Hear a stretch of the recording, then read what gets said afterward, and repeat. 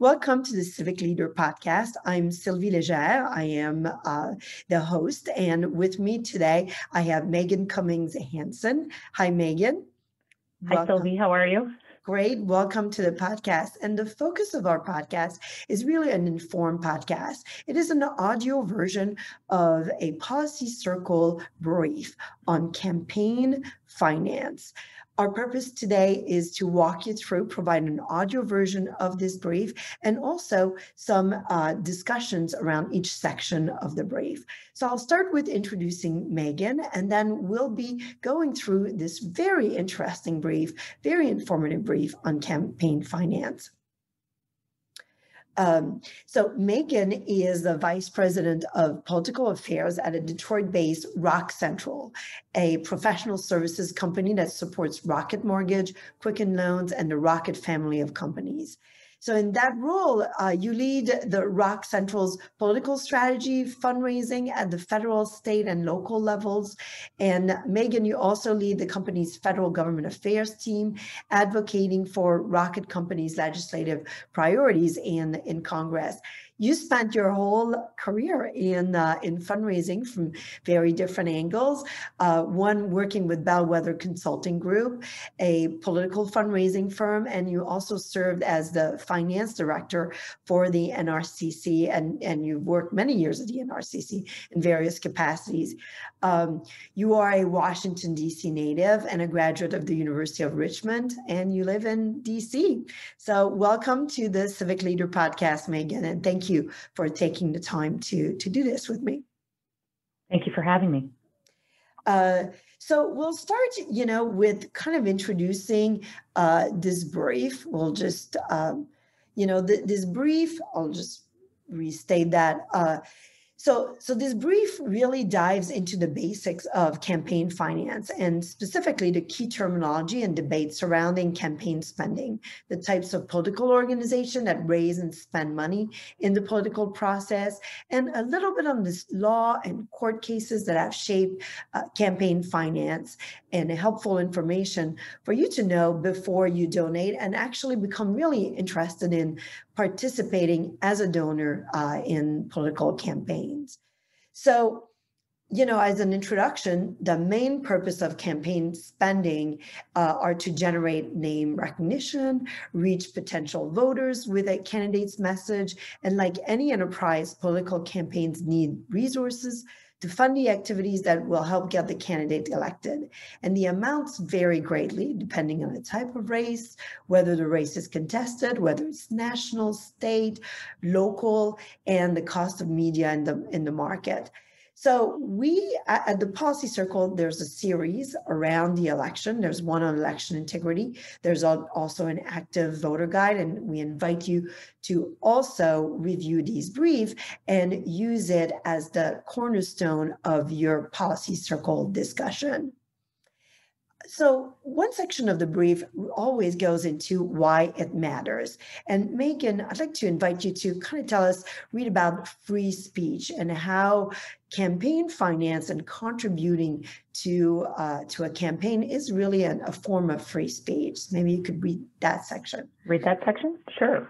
So um, money is spent, is spent differently depending on the type of organization, the activities they are allowed to engage in, and any relevant laws. Hard money goes directly to candidates and is tightly limited by campaign finance laws. The limitations make it hard to raise, but few restrictions make it easy to spend. Soft money cannot go directly to a candidate or campaign and can only be used for party building activities, such as advocating for the passage of a law and voter registration, and not for advocating a particular candidate in election. However, contributions can be unlimited. The Institute for Free Speech notes foreign nationals, national banks, and congressionally chartered corporations like Fannie Mae may not make contributions in any election, federal, state, or local. Corporations and unions are prohibited from contributing in some states, and certain kinds of corporations, such as public utilities, gaming, and liquor licenses, and insurance companies, may face special restrictions. Lawmakers have also proposed restrictions on contributions made by donors residing outside a candidate's state. So, you know, there's a there's a section here about why it matters and uh, and free speech. And one of one of the things, and this is um, one of the things is participating in fair and open election is one of the many freedoms that Americans enjoy. And the First Amendment ensures that your right of free, free speech and it is an expression of this right to contribute directly to a candidate's campaign or to make an online video or TV advertisement in support or opposition to a candidate. In addition to voting, this is how you make your voice heard. And government is always going to have an important uh, position of power. So free speech in the form of support or opposition to elected officials serve as an important check on that power. Free and fair elections should maximize people's ability to run and participate and support candidates. And setting strict limitations and regulations on campaign financing can squelch that participation. There's, Meg, I'd love for us to talk a little bit about you know, uh, just this expression of free speech. And also, you know, there's a lot of concern about around some argue that large contributions make politicians rely on wealthy individuals or corporations or unions. Um, so they then answer to these donors and contributors instead of the average voters. What are your thoughts on just having spent your career in political fundraising? What you know, what are your thoughts around around this and, and why it matters and, uh, and and why it's an expression of of people's really free speech? Sure. So my experience um, was formative in that I worked for um, members of Congress as a consultant, and I would help them raise money. And, and my experience is really formed by that. I just think that there is a perception that you know elected officials could be bought by a contribution. And I just would say that's just not my experience, that elected officials are motivated by um, really honestly believing they want to do what's right for this country. So this notion that elected officials can be bought off. Yes, are there, I think just like America, elected officials are representative of the country. There are far more good people than bad people, far more smart people than not smart people. And I think most politicians, this idea that they could be bought off or unduly influenced is just inaccurate that ultimately um, a politician is guided by a set of principles, and those principles can come from many places, right? Ideology, uh, world experience. Um, maybe they have deeply held religious views that motivate how they how they vote uh, or how they they think about the world. And I think that this idea that they can be motivated by a campaign check of a thousand dollars is just not necessarily accurate. So, you know, my experience is really formed from having worked with elected officials that ultimately the support comes because the elected official is supportive of someone's industry or someone's com- or or someone's interest and that they're they're motivated to they're they're doing the right thing. And so the the donor is acting out of a free speech saying thank you for your help. Thank you for your support. Thank you for advocating for principles that i believe in and then they're providing support yeah. And and also I think like when you make a campaign contribution, you feel more invested in this campaign and feel like I'm going to follow what this candidate, what we're mm-hmm his or her promises during a campaign and what are they actually doing and then mm-hmm. become kind of part of that fan base there's in the brief you know there's there's a lot of money spent in political ad and uh, i think it's in the order of like 10 billion dollars in mm-hmm. 2020 already in, in political ad and then there's also a graph here around um, that very few americans actually donate to political campaigns although the impact is still really large so there's a tiny group of 0.47% um, that deliver 71% of the total contribution to political campaigns. Mm-hmm. Interestingly, in 2020, uh, there are 44% of contributions to federal campaigns were actually made by women, and this is the highest uh, the highest of, of, all the years. I think in the 90s, it was at 20%. So that is really to watch at the end of this election cycle where, where it will be. Um, one of the things I would like to mention is once an individual has raised or spent more than $5,000, uh, he or she must register with the FEC, the Federal Election Commission, as a candidate and transfer funds into a campaign account whose funds will be disclosed. And the FEC provides kind of easy to navigate definitions for election related uh, organizations. So what we'll do now, we'll walk through what are these different uh, election related organizations. And Meg, if you could talk about the uh, Political Action Committee, PAC, uh, what it is and how it functions. Sure. So a PAC or a Political Action Committee are committees that are established and administered by corporations, labor unions, membership organizations, or trade associations. As such, they spend money on elections and can donate money to parties or candidates, but are not party affiliated or an authorized committee of a candidate. PACs that are established, administered, or financially supported by a private sector company or labor organization are called separate segregated funds or SSF. They are funded by the organization with which they are associated and can only receive contributions from individuals connected to these groups, such as those who work for or own shares in the corporation. Uh, Open Secrets, which is a great resource, keeps track of the top corporate PAC contrib contributors. PACs without such a corporate or labor sponsor are called non-connected PACs. They are financially independent and are allowed to solicit funds from the public. So, you know, anyone can really start a PAC, right? A group of people who are who have a belief in, in one issue uh, can start a PAC. What's your experience with uh, with with PACs? Sure. So that was my first job was raising money from political action committees for can, uh, candidates. So I worked for a, a campaign would hire us to be a consultant to hire to, to raise money from political action committees. So, you know, from my, and now I, I run a PAC right now. I run the, the Rock Holdings Inc. PAC. It's a PAC that's affiliated with, with Quicken Loans and the Rocket family of companies. So I have a lot of experience doing it. I raised PAC money when I was at the NRCC. And what I would say is that, you know, ev almost every um, corporation has a PAC. And again, it's, it's not corporate money being put into a fund to be given to a camp, given to a campaign. It's employees of a company are pool their money, put their money subject to contribution limits. The maximum an individual can contribute to a PAC is $5,000 per calendar year. So, and, and it's also regulated who exactly can give to a PAC. Not every employee can give to a company's PAC. It's restricted. Uh, it has to be a part of the company's restricted class, and that's the the Federal Election Commission sets those standards. So, um, you know, a, an employee in the restricted class can contribute up to $5,000 to the PAC and then that money is pooled and then given out, also subject to contribution limits, to candidates and campaigns. So a, a corporate or a union PAC can give up to $10,000 per, uh, or excuse me, $5,000 per election cycle to a candidate. So candidates have a primary and a general. So that's $10,000 over the course of a, a two-year congressional race or a six-year Senate race.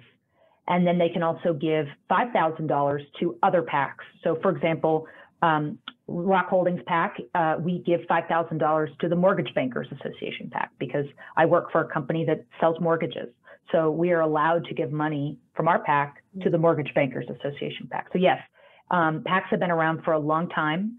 Um, they're highly regulated. Every contribution is disclosed, both as a contribution to the PAC as well as a disbursement out of the PAC. Um, and so it's it's very transparent.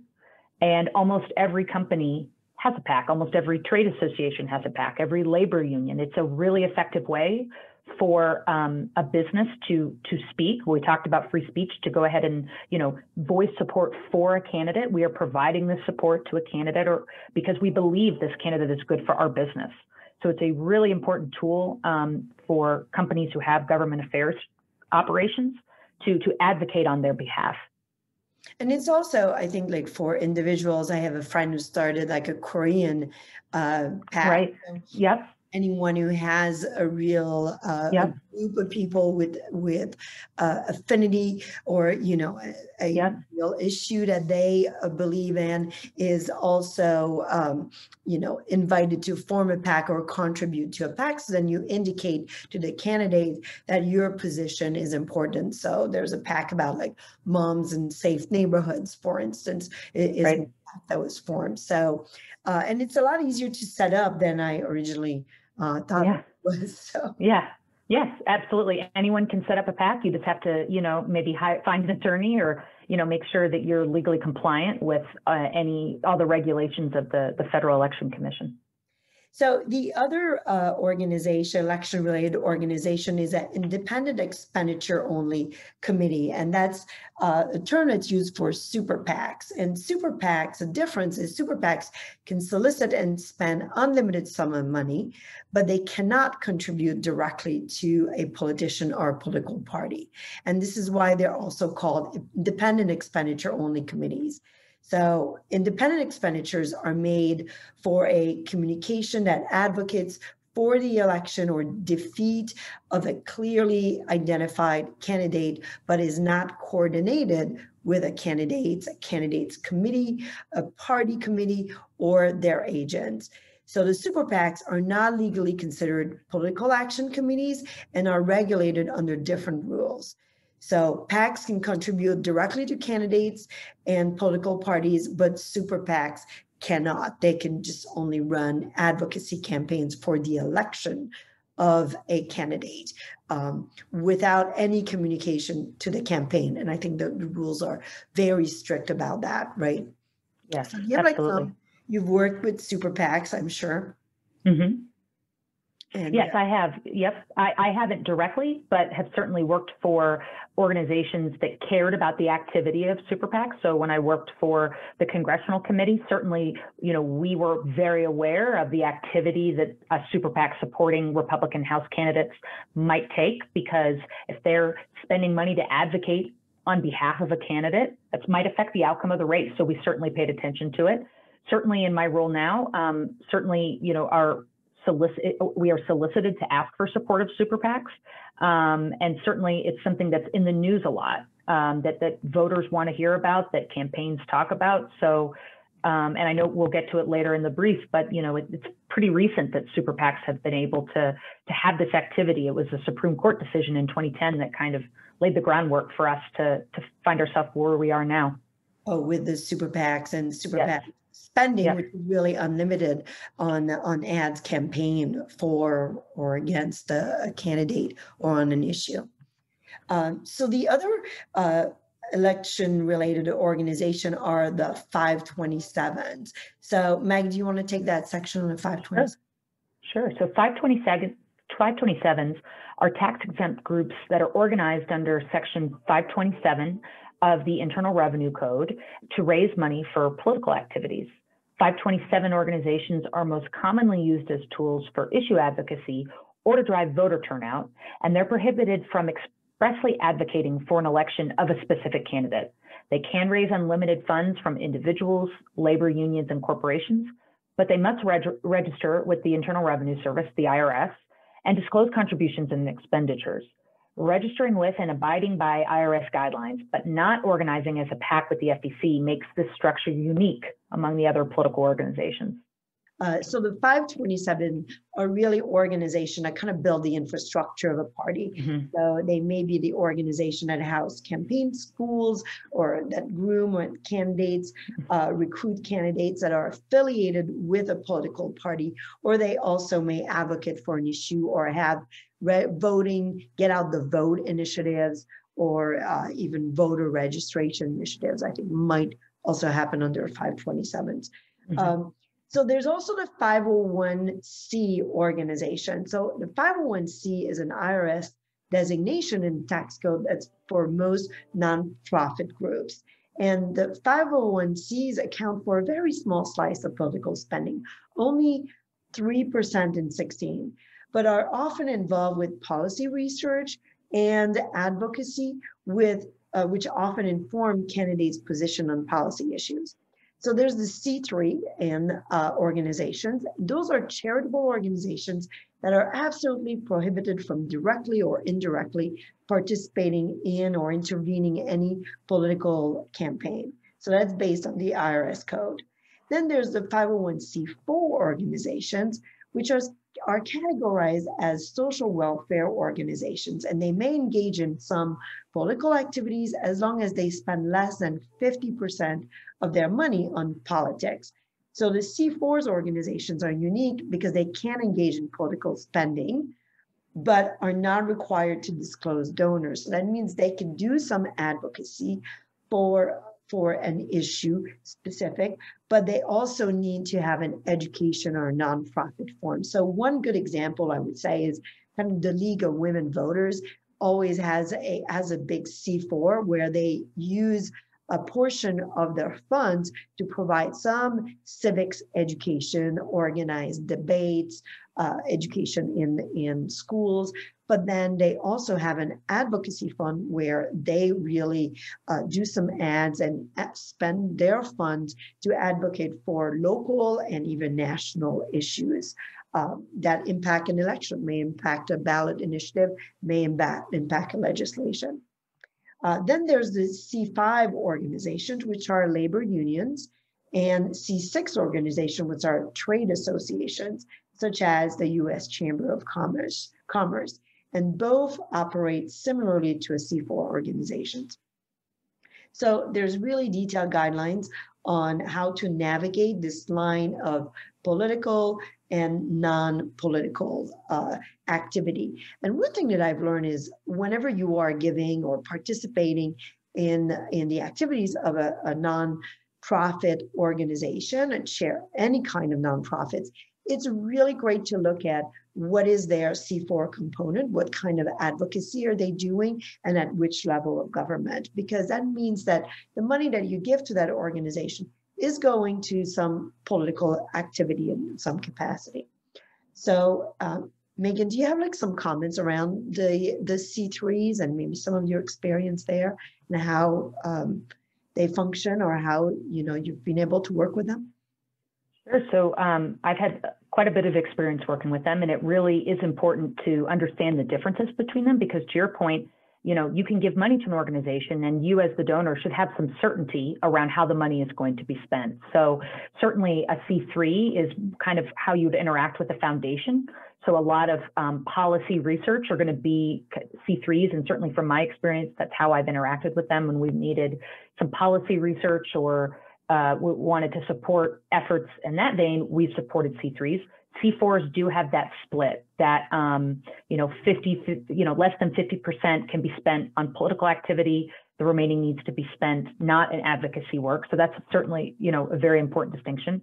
And then, you know, obviously trade associations and labor unions are really important, um, really important organizations in, in advocate, you know, as they advocate for business or, or labor or whatever um, organization they're working for. And I would say when you're looking at campaign finance, in particular this discussion, all these pieces fit together, right? A lot of times a C3 might have an affiliated C4, which might have a connection to a trade association. So these pieces all kind of fit in the puzzle to be able to comply with whatever the, the applicable campaign finance laws are to achieve the goals of an organization, right? Like that's why you have a lot of them in tandem. Um, and I think you'll see that as we continue going through this brief, talking about how kind of the, the party system is interconnected. Um, it, allows, you know, different uh, parts of the law, you know, different entities under certain parts of the law will take certain actions. And so uh, I think that's really what you see with the three, the C3, the C4, and the C5 organizations. Yeah, and it's it's also you know if you are part of a trade association, this is also where you can really get engaged with your association. Is looking at what's their advocacy effort, what is their C4 effort, and um, and then really start to understand where they are influencing uh, legislation and policy making in in your community, in your state, or even the nation. So let's talk a little bit about the role of government. And uh, Megan, if you could take the federal section, I'll take the state. Sure. So the Federal Election Commission, or the FEC, oversees federal election. It's an independent regulatory agency that administers and enforces federal campaign finance law. And that means it has jurisdiction over the U.S. House, the Senate, the presidential, and vice presidential campaign finance federal campaign finance laws focuses on uh, they focus on public financing of presidential campaigns, public disclosure of funds raised and contributed to federal candidates, and limits on such contributions and expenditures. So in the states, the states they set their own campaign finance laws, but they must also comply with federal law.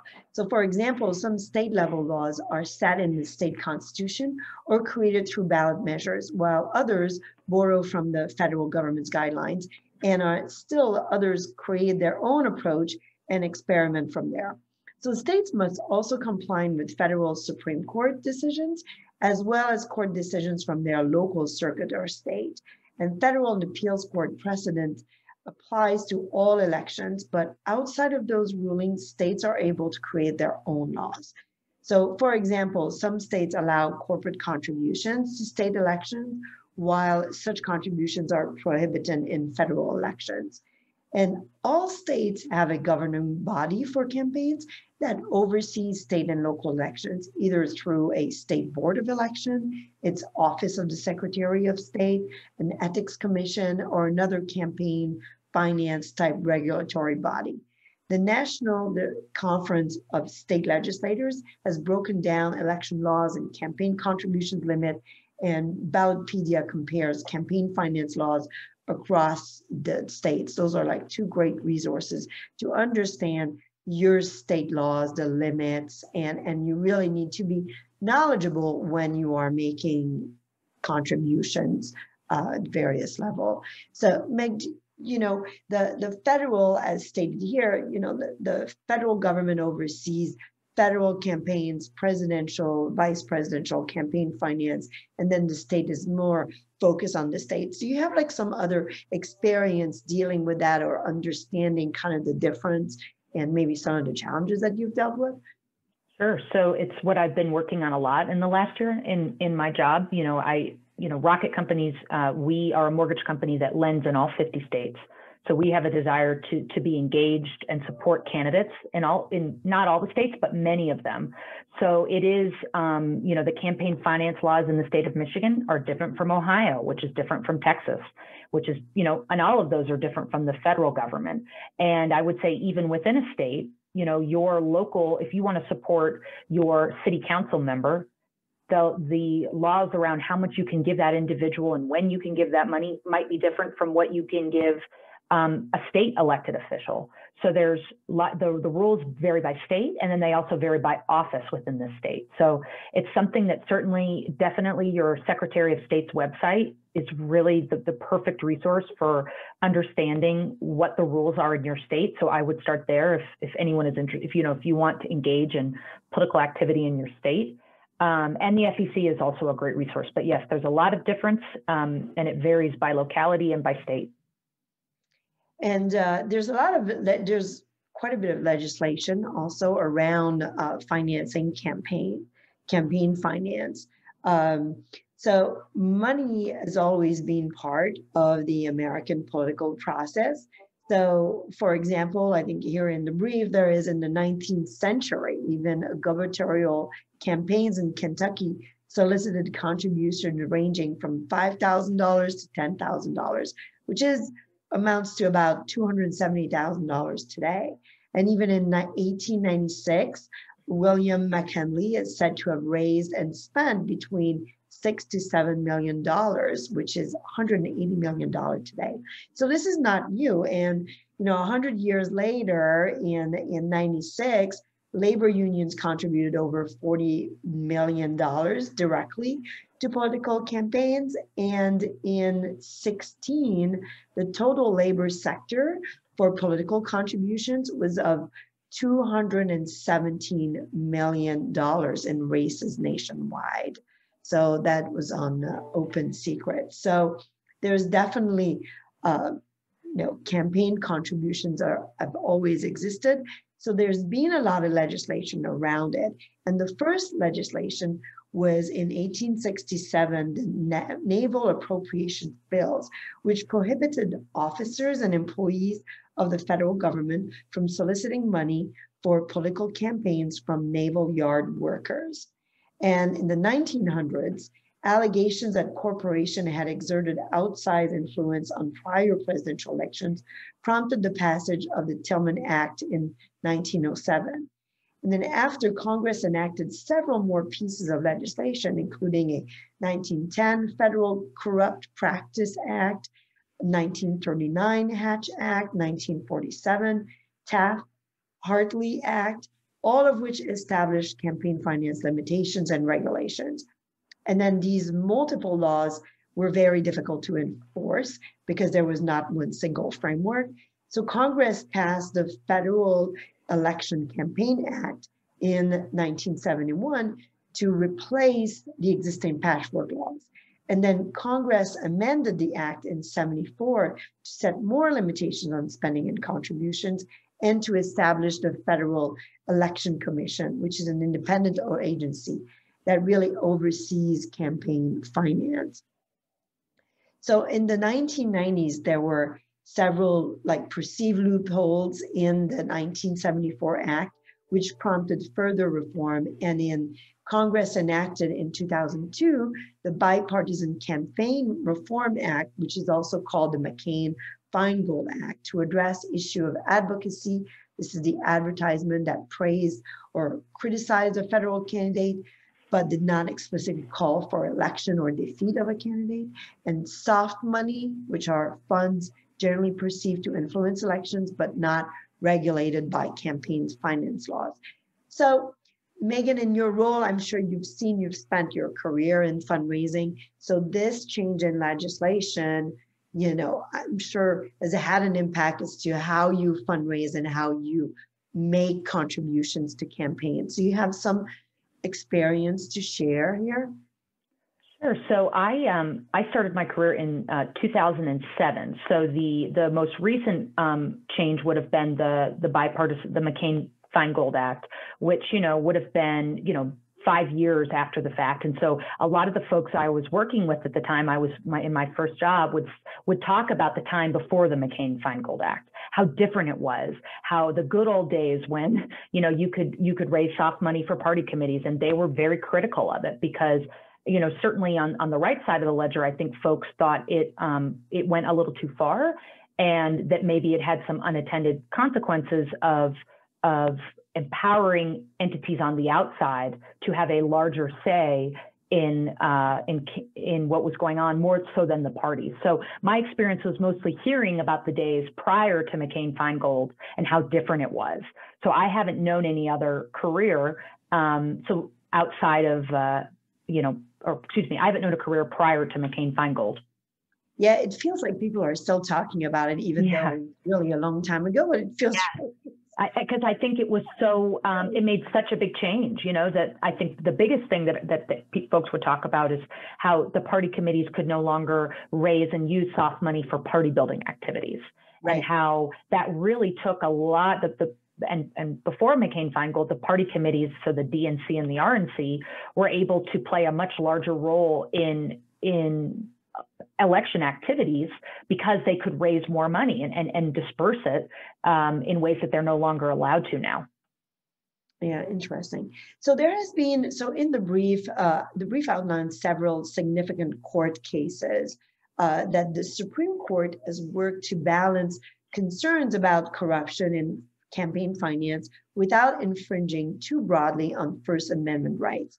The Supreme Court has consistently held that restrictions on political speech must serve the state's interest in fighting corruption or in reducing the appearance of corruption.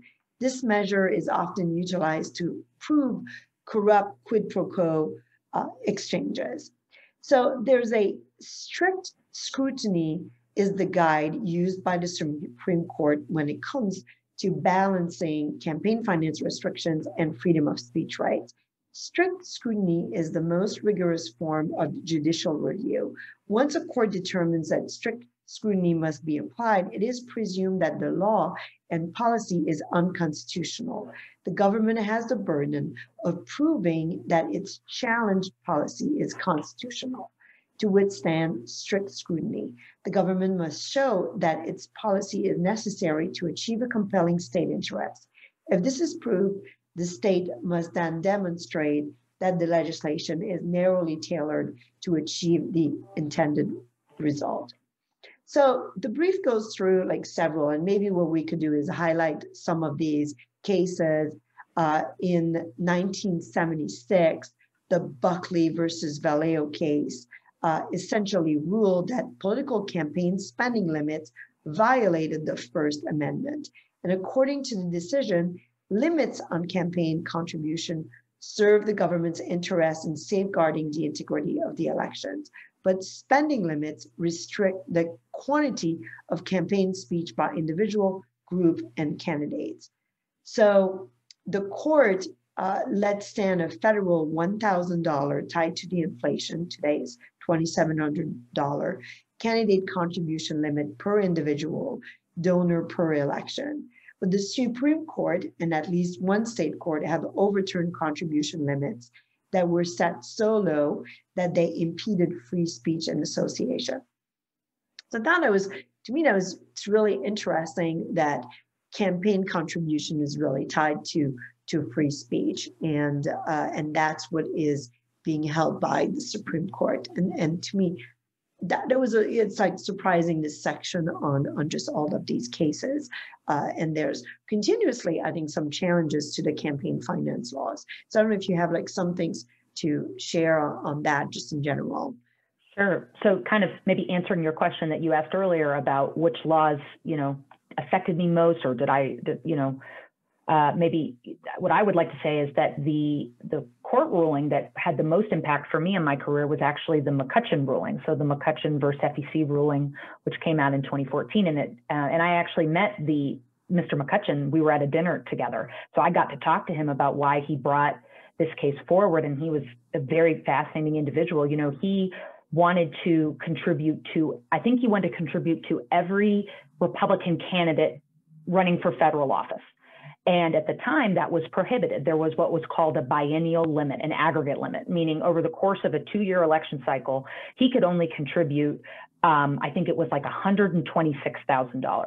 Well, if the limit is you know around 2700 you can't do that under the law and so he challenged it uh, and his case got to the supreme court and he won and that uh, ruling was uh, was a big had a big impact on my career because at the time I was at a party committee and we often were challenged by we would like to we want to raise money from donors but they would be caught by this limit meaning the donor had already reached their two year limit. Even if they were always contributing within the donor limits meaning contributing no more than 2700 or at that time it was a little bit of a lower uh, donor limit but they could only contribute to certain amount overall. They had reached their limit. So that actually was a really important ruling and that the court found that it it restricted his Mr. McCutcheon's free speech, that he the, that the law was limiting that he his it was his free speech right to say I want to give to every Republican running for Congress, and so um, that was a, a ruling that you know directly impacted my career. It was interesting to meet the the gentleman who brought the case um, because he you know he took it all the way to the Supreme Court and he won which is just a, was a fascinating experience. Fascinating, fascinating. There was uh, the other one that's outlined here is the Citizens United versus mm-hmm. the FEC in 2010. And this is a nonprofit group called Citizens United who wanted to air a movie during the final weeks before the 2008 Democratic primary election. However, the regulations set by the Bipartisan Campaign Reform Act ban the broadcast, cable, or satellite transmission of electioneering communications paid by corporations or labor unions from their general funds in 30 days before a presidential primary and in 60 days before the general election. And the Supreme Court heard the case and struck down the restrictions on political spending by corporations, and that includes nonprofit corporations and unions.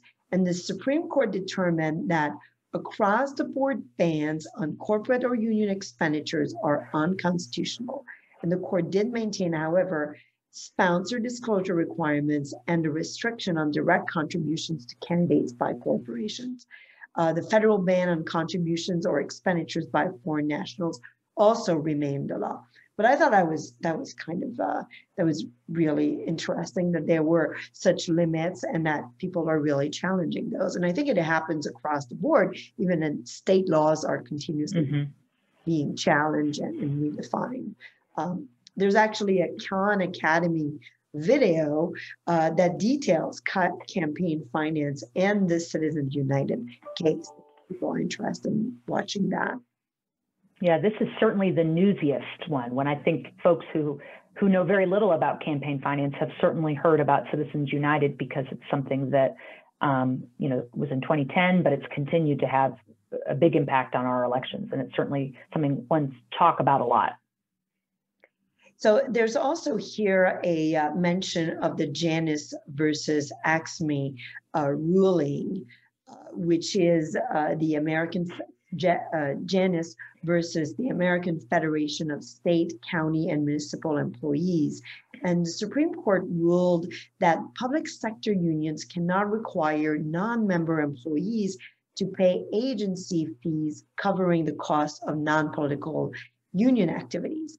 And in 2017, unions represented about 40% of the public sector workers, almost 8 million workers. And this level of membership gives public sector unions considerable political influence at the local, state, and federal levels.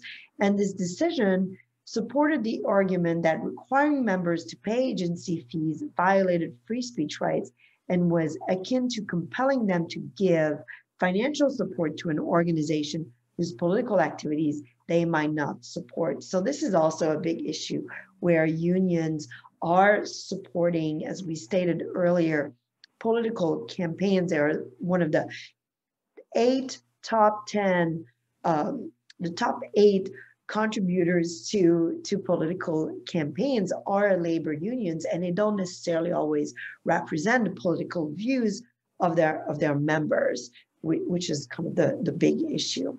So um, there's a section here on contributing to campaigns. So uh, Megan, do you want to take the section on limits and regulations? You talked a little bit about that already. So maybe you could take this section. Sure. So you may contribute as much money as you like to 501c3s, fours, fives, or sixes, or a super PAC, which conducts independent expenditures. By law, there are no limits on independent expenditures or contributions to groups that only make independent expenditures. But if you're contributing directly to a candidate, to a political party, or to a PAC, there are limits on the amount you can contribute. At the federal level, the FEC sets the limits. For state elections, the limits vary by state. In one state to state comparison, Alabama, for example, allows for unlimited contributions from individuals in state Senate races, state House races, and governor's races. Alternatively, Wisconsin limits, limits the contribution from an individual to $20,000 for a statewide race, 2,000 for a state Senate race, and 1,000 for a state assembly race. Yeah, so the limits are, are very clear, and it's always a good idea to really understand what are the limits in, in your state. There's also the issue of uh, disclosing donors. So the Institute for Free Speech outlines all spending calling for the election or defeat of candidates requires some type of disclosure. And there is more disclosure today than in any previous time in US history. The FEC requires the entity paying for an ad to be named in broadcast and cable political advertising, as well as in print ads. Candidates, political parties, PACs, and super PACs at the federal level and in 49 states must disclose their expenditures, income, and donors. And there's an open secret summary of disclosure rules per organization. I think also now the, the web platforms are also putting in their own um, rules of disclosing who pays for uh, web-based, for social media ads as well, which is not mentioned here, but that's also something that is at play, right? Yes, absolutely. I think you've seen more and more campaigns spend their money online to reach donors. And so whether that's Facebook, Instagram, um, you know, that's where a lot of political ad spending is migrating. And yes, disclosure is an important part of that. Yeah, yeah. Uh, in most situations, when you donate money, you're required to disclose your name, to whom you donated, your address, your occupation, and your employer. And that information is held in a public database, and other members of the public, including journalists, may access it. If you contribute to a federal candidate, super PAC, PAC, or to a political party organizations like the RNC or DNC, donations over $200 are disclosed. This threshold at the state level varies from $20 to $300. C3 and C4 organizations are not required to publicly disclose donor information.